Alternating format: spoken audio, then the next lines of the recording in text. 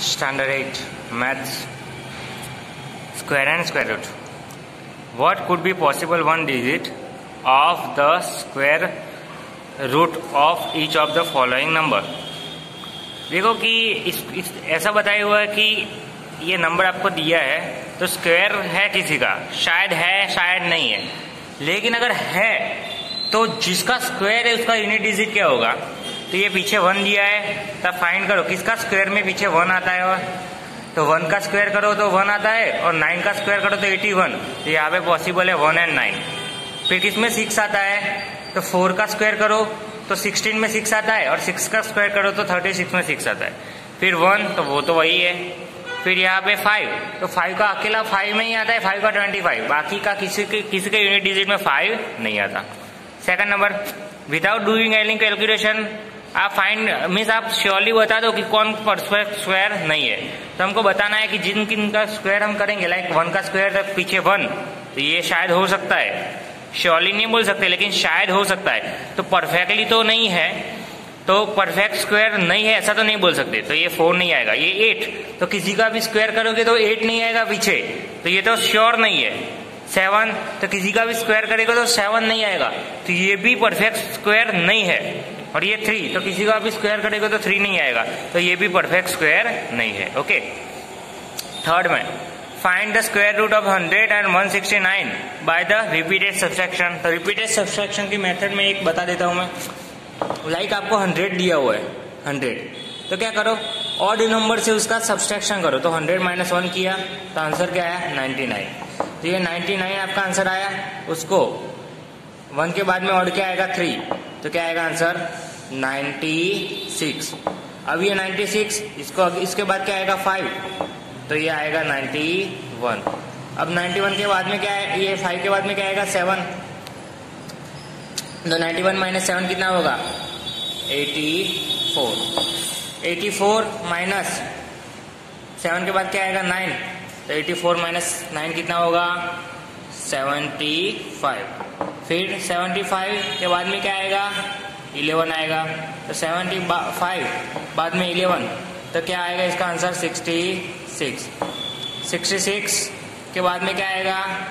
13 66 के बाद में क्या आएगा? 13 तो इसका आंसर हो जाएगा 53 53 53 के बाद में क्या होगा? 15 तो ये आंसर क्या हो जाएगा आपका?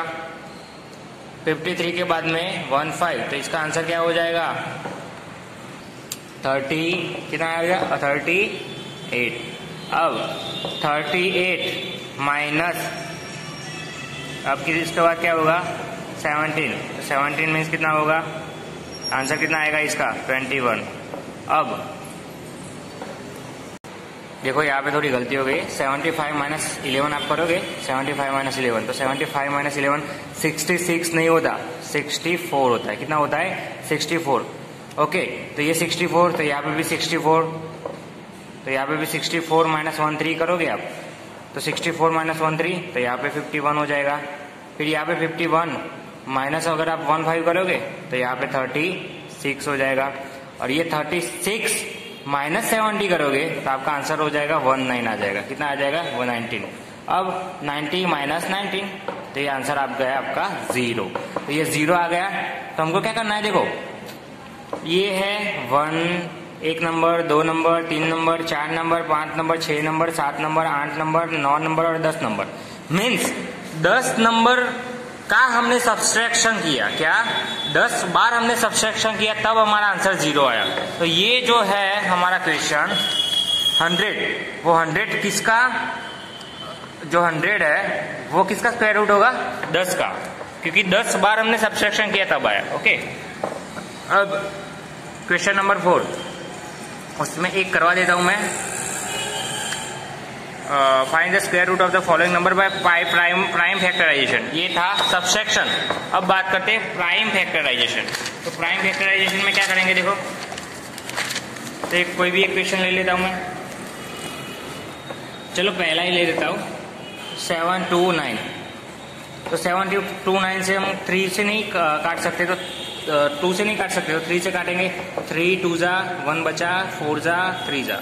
ओके तो थ्री से two four three again three और फाइव फाइव और नाइन हाँ तो अभी भी थ्री से कटेगा। तो थ्री एट जा थ्री वन अभी भी थ्री से कटेगा। तो थ्री से कितना आएगा? टू और ये अगेन टू तो ये सेवन आ जाएगा। ओके फिर, अभी भी थ्री से तो अभी भी थ्री से कितना आएगा? अभी भी थ्री से कितना आएगा? नाइन अभी भी थ्री से कितना आएगा? नाइन अभी भी थ्री से काट सकते हो ना? तो थ्री से अभी भी थ्री और थ्री से वन तो पैर बनाओ। तो थ्री थ्री की पैर बन रही है। तो हमको पता है प्राइमरी फैक्टराइजेशन में जिसकी पैर बन रही है, उसको एक ही बार लिखेंगे। तो ये पैर में से एक थ्री निकाला। ये पैर में से भी एक थ्री निकाला। ये पैर में से भी एक थ्री निकाला। तो three into three into three तो नाइन थ्री ज़ा ट्वेंटी सेवन तो ये जो सेवन टू नाइन है ना, वो ट्वेंटी सेवन का परफेक्ट स्क्वायर है।